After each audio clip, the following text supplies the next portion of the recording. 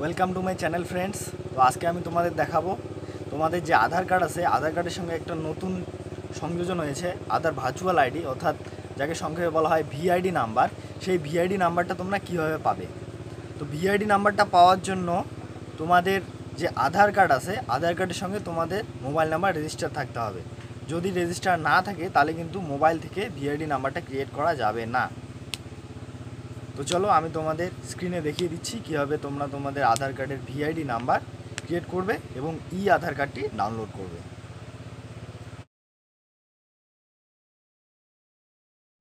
তো প্রথমে তোমাদের যে কোনো একটা ব্রাউজার থেকে টাইপ করতে হবে UIDAI dot GOV dot in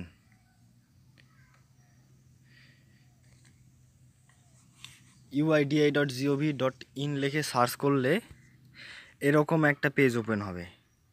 এরকম পেজে তোমরা এই যে এখানে দেখতে পাচ্ছ get Aadhaar. Aadhaar is for every resident of India Aadhaar card পাওয়ার জন্য বা ই আধার কার্ড ডাউনলোড করার জন্য এখানে আছে আপডেট আধার।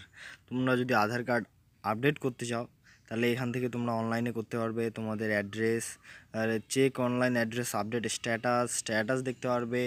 তারপর আধার সার্ভিসেস যে আছে, আধার তোমাদের দেখাবো যে ভার্চুয়াল আইডি অর্থাৎ ভিআইডি নাম্বার যেটা থাকে, ওটা কীভাবে জেনারেট করবে? তো ভার্চুয়াল আইডি জেনারেট করার জন্য এই যে এখানে আছে ভার্চুয়াল আইডি জেনারেটার আমি ক্লিক করছি ভার্চুয়াল আইডি জেনারেটার অপশনে ক্লিক করার পর আর একটা পেজ ওপেন হবে আর একটা পেজে এরকম এই যে enter twelve digit Aadhaar number UID মানে তোমার এখানে যে আধার নাম্বার আছে, এখানে তোমার আধার নাম্বার দিতে হবে। আমি আধার, আমার আধার নাম্বারটা দিয়ে দিচ্ছি। আধার নাম্বারটা দেওয়ার পর এখানে তোমাকে ক্যাপচা ভেরিফিকেশন করতে হবে। Q Z triple N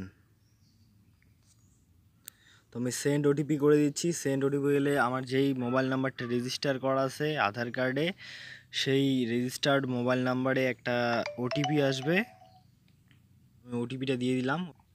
OTP আসলে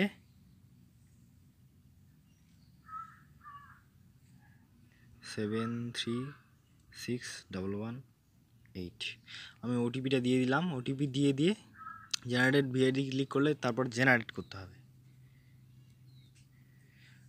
জেনারেট করলে তারপর আমার যে রেজিস্টার্ড মোবাইল নাম্বার আছে, সেই রেজিস্টার্ড মোবাইল নাম্বারে কিন্তু আমার ভিআইডি নাম্বার যেটা আছে, অর্থাৎ ভার্চুয়াল আইডি নাম্বার ওটা কিন্তু পাঠিয়ে দেবে। এরপর যদি তোমরা চাও যে সেই ই আধার কার্ডটা ডাউনলোড করবে, তাহলে তোমাকে আবার আধার কার্ডের যে হোম পেজ আছে, সেখানে আসতে হবে। হোম পেজে এসে, এই যে এখানে তিনটা দাগ দেখতে পাচ্ছ, এই তিনটা দাগের উপর ক্লিক করতে হবে। এই তিনটা দাগের উপর ক্লিক করলে এখানে দেখাবে যে, এই যে কয়েকটা অপশন আছে, এখানে মাই আধারে আবার ক্লিক করতে হবে। মাই আধারে ক্লিক করলে আর কয়েকটা অপশন আসবে। অপশন আসার পর এই যে গেট আধার যে আছে গেট আধারে ক্লিক করতে হবে। আমি গেট আধারে ক্লিক করলাম। গেট আধারে ক্লিক করার পর আরেকটা পেজ ওপেন হবে। ওই পেজে এই যে, এই অপশনটা যে আছে ডাউনলোড আধার ডাউনলোড আধারে ক্লিক করতে হবে। ডাউনলোড আধারে ক্লিক করলে নতুন আরেকটা পেজ ওপেন হবে। নতুন পেজটাকে তোমাকে এই যে এখানে বলা আছে download electronic copy of your Aadhaar. I have Aadhaar number তার জন্য আমি আধার নাম্বারটা এখানে দিব। দেওয়ার পর ক্যাপচা ভেরিফিকেশন করতে হবে। আমি ক্যাপচা দিয়ে দিলাম। ক্যাপচা দেওয়ার পর সেন্ড ওটিপি করতে হবে। সেন্ড ওটিপি করলে আবার তোমার সেই ওই রেজিস্টার নাম মোবাইল নাম্বার যে আছে, ওই রেজিস্টার্ড মোবাইল নাম্বারে একটা ওটিপি যাবে। ওই ওটিপিটা তোমাকে এখানে আবার দিতে হবে এন্টার ওটিপির জায়গায়। আমি ওটিপিটা দিয়ে দিয়েছি।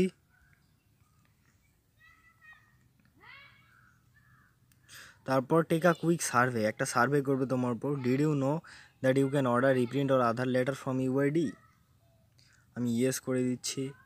In how many days did you receive the reprint Aadhaar letter after getting S M S from India post within five working days আমি করে দিচ্ছি। এবার verify and download verify and ডাউনলোডে ক্লিক করতে হবে। ভেরিফাই এবং ডাউনলোডে ক্লিক করলাম।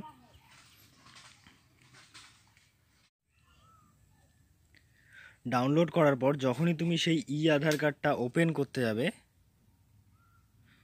তখনই একটি পাসওয়ার্ডের অপশন আসবে।